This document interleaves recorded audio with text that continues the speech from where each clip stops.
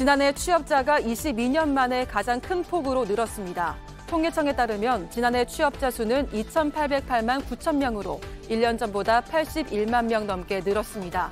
산업별로 보면 보건사회복지업 등에서 증가했지만 도소매업 등에서는 감소했습니다. 연령별로는 60세 이상이 45만 명 넘게 늘었습니다. 코로나19로부터의 일상회복으로 배달과 돌봄 수요 등이 호조를 보였지만 경기 둔화가 예상되는 올해에는 취업자 수 증가폭이 크게 둔화할 것이라는 전망이 나오고 있습니다.